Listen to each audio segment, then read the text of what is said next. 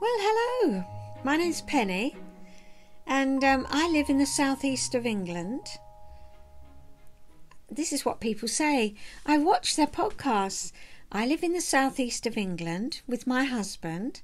My two daughters are grown, married, have children of their own, and now one is a grandma, and um, the other one will be in January.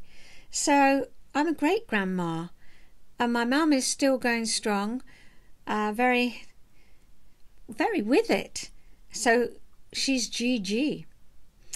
So that's to tell you a little bit about me in a nutshell. I wanted to say hello, YouTube friends, because the first person I ever watched on YouTube was Kate of Last Homely House, and uh, she's got the lime green sofa and and hello YouTube friends. And as soon as her cat hears her say that, up it comes. And uh, there's something about it, isn't there? So I'm not going to say hello YouTube friends, but that's what I want to say. I've been wanting to do this for a long, long time. Um, since the beginning of lockdown, really, which was last March. Last March the 16th was when I um, started sheltering. Um,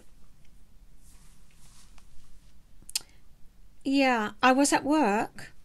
At that time, I worked one day a week, and I retired at, in the last week of March. And so I didn't have long to go, really. I did my last few uh, sessions by phone because I was a counsellor for the NHS. So, what's my podcast going to be about? Why do I want to do it? I think today the reason I want to do it is because it's all going to be changing again. Yeah, they're saying, shall we wear masks? Shall we not wear masks? Um, shall we distance? Shall... Oh, and the numbers are going up. And I just thought, am I back to square one, really? I don't know what you think, but um, I just wanted to have a chat. And so that's what my podcast's going to be. I plan on doing it once a fortnight, putting it up at the same time, probably putting it up on a Monday, and yeah, putting one up. I'm going to try and keep it to about 20 minutes because I think for me, if you you've got 20 minutes after dinner or whenever, and you can just sit and listen, and you know, it's not going to be, well, I don't know how. Let's see how it develops. I'm in my little corner. Uh, in my other house, I had a beautiful craft room, but 20 years ago, after the children had got married and we were on our own, uh, we bought a bungalow. And I haven't got a craft room now, but I do crafts. I do sewing. I don't do crochet. My uh, my wrists won't let me, but I do knitting and sewing and embroidery and counted cross stitch. So yeah, quite eclectic mix. Um, but I I just do it where wherever I am. However, I have got a table here in this little corner, and um, this is where I my my this is where I can operate. this is my little section. So that's where I thought I'd do my vlogs. So, what did I want to talk about? Well, I thought I'd talk about what I've done in the past, craft wise, what I'm doing now, not in any great detail. You know, some people put all the notes underneath and, you know, tell you exactly the, the type of wall. and I'm just going to show you what I'm doing really. Um, that's made me think, shall I get one of my quilts to show you? Yes, I'll, I'll do that. I'll get that in a minute. So I thought I'd show you something that I did in the past, something that I'm doing now. Um, and it's called, I, I thought, what shall I call it? I noticed most people have got a title for their vlogs, and I thought I'd call mine Shall I, Shan't I? Because that's what I say.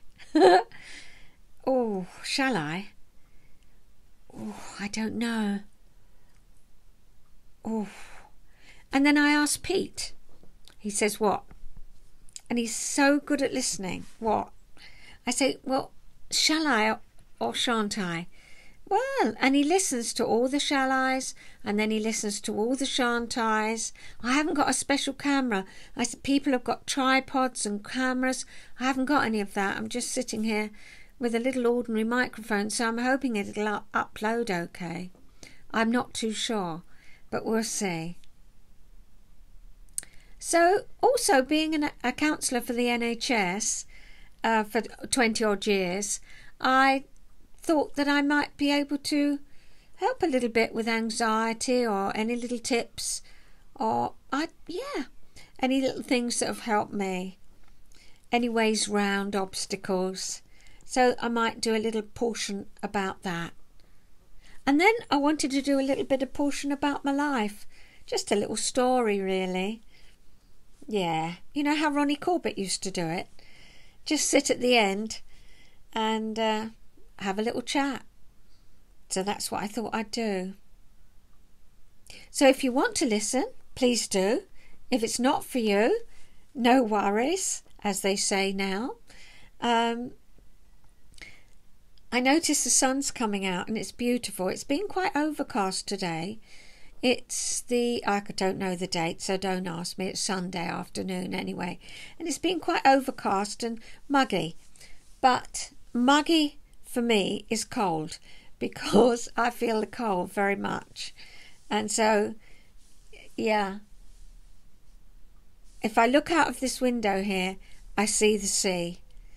And uh, it's lovely. We've got a lovely garden, which is why we bought the bungalow. We didn't want a place too big, but we wanted space round us. And in the southeast, that's not very easy to find. So We've got a nice garden. I've got chickens, and I thought I'd do a little film because last July, after lockdown lifted a bit, I went to shall I, shan't I? Oh, but I decided yes, and I went to the camera shop in Canterbury and bought myself a camera. Here it is. And I take photographs and little movies because Pete and I are both birders we love our birds and we uh, go to the Isles of Scilly when it's not, you know, pandemic time, and we love it. We love, we love islands. We love um, places where there's not too many people, but definitely we love places that are surrounded by the sea. So I'll just maybe put a little bit of film up each time I do a vlog. Not too long, don't want to bore you. So I'd better get on with it, hadn't I? Otherwise I'll run out of time on the first one. So I wanted to show you the first thing I made. And next time I'll tell you about the first thing I didn't made. I didn't make. And that was a dress for my dressmaking at school. And I'll tell you a little bit about my school. That's what I plan on doing. It went hideously wrong. And uh, that'll be the story. I'll jot it down. That'll be the story I'll start with next time. But this is my first counter cross stitch. I thought, how in heaven's name? Oh, I mean, when did I do this? 1973. You couldn't Google things then. You couldn't look on YouTube to find out things how they how they're you know doing now, how to do them. You couldn't do it. You had to work it out yourself. And when I looked at the instructions, I thought, how do I get that onto there? But I fathomed it. And the reason I was doing it was because I'd had my second baby and uh, she slept two hours out 24 and she was very, very hyperactive. Fortunately, she completely calmed down by the time she was two and uh, has led a normal life since. But for those first two years, and then she got mumps, I got mumps, and then I got glandular fever.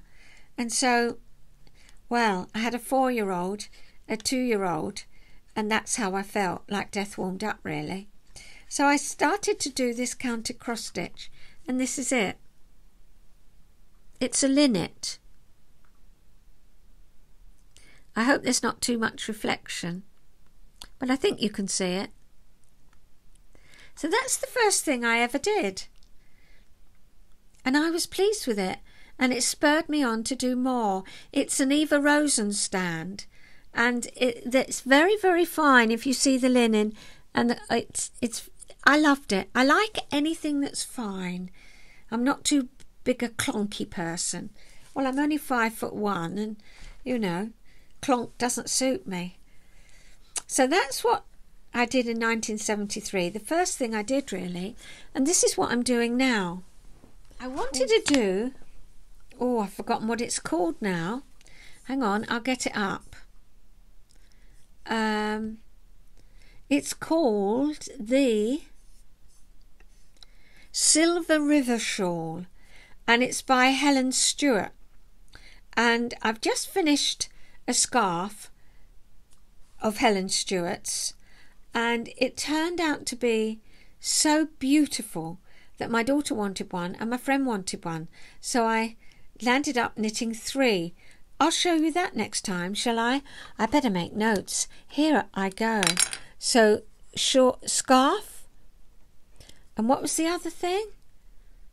School. Yeah. Okay. See, I didn't know where I'd be going with this, but I've already got my second vlog. Now, this yarn is the most divine yarn I've ever, ever had. Ever. It's, I bought it from Yarn Works, and I bought one just as a treat. Oh, shall I, shan't I? I've got a stash. But I couldn't resist it. It's an Irish artisan yarn and it's hand dyed. And I only got into knowing about hand dyed yarn after lockdown because I started watching YouTube and seeing what other people were doing and going onto the different sites. And you can see now I've got a little collection. That's what I made the um, the scarf with. And anyway, this is the ball I bought. Now, it doesn't show up the colours. It's the most exquisite colours. But of course, then I realised I wanted to do this pattern. I'll put the pattern up here. And it's got a lighter one with it. So I phoned Yarnworks and I said, Oh, I don't know what one to buy.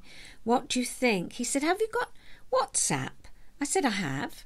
He said, Well, if you give me your number, I'll send you a couple of the light ones through, so that'll help you, you know, choose. I said, Well, thank you very much. This is like holding, I can't explain it. It's baby suri alpaca at 70% and 30% silk. Well, I've had that wool before, but this is like no other, and I bought that. So I've got those two.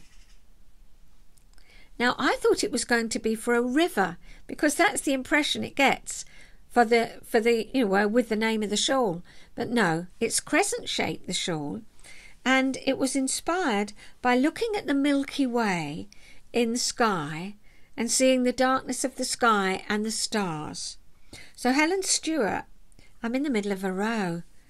This will be typical me. Just get it. Um, and she does short rows. So started with the light and oh, can you see? Quite hard, isn't it? This is she calls a star stitch. If I if I do it like that.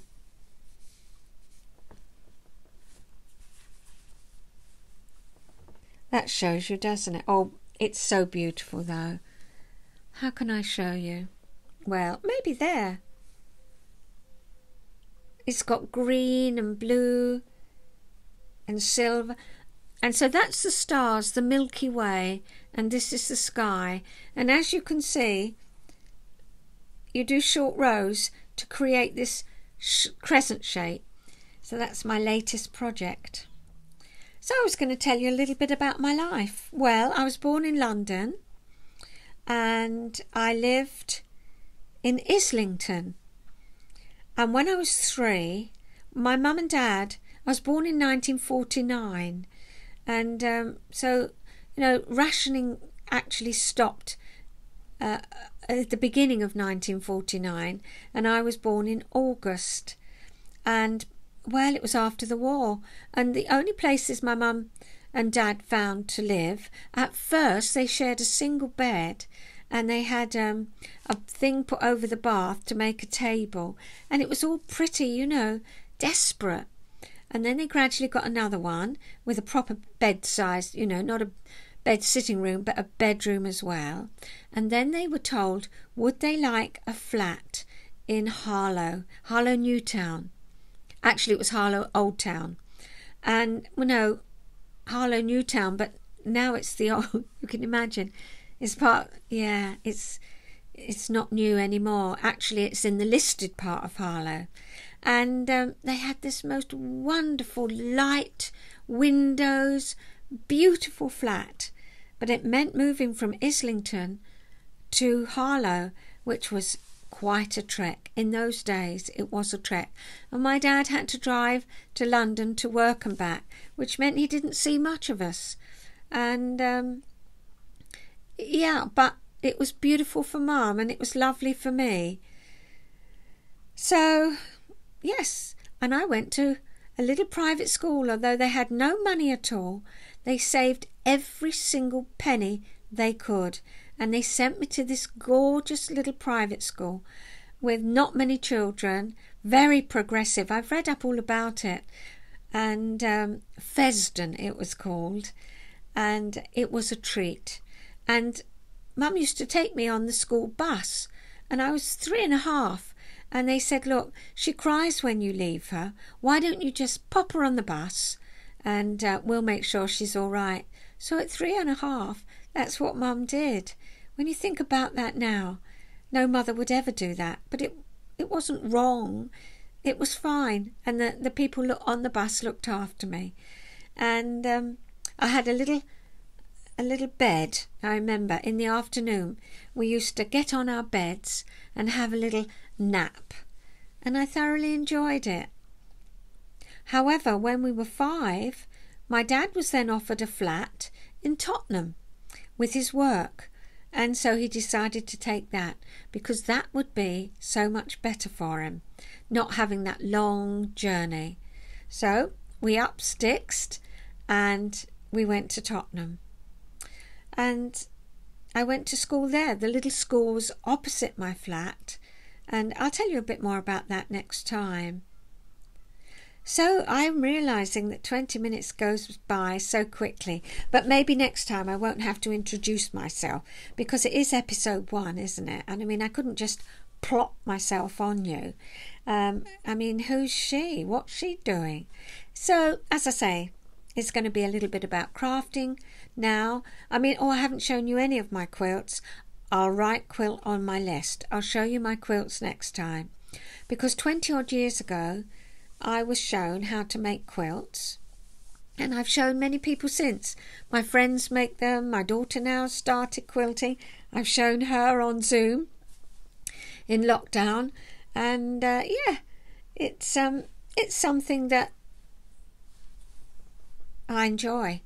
So yeah, I might I'll show you, see what you think.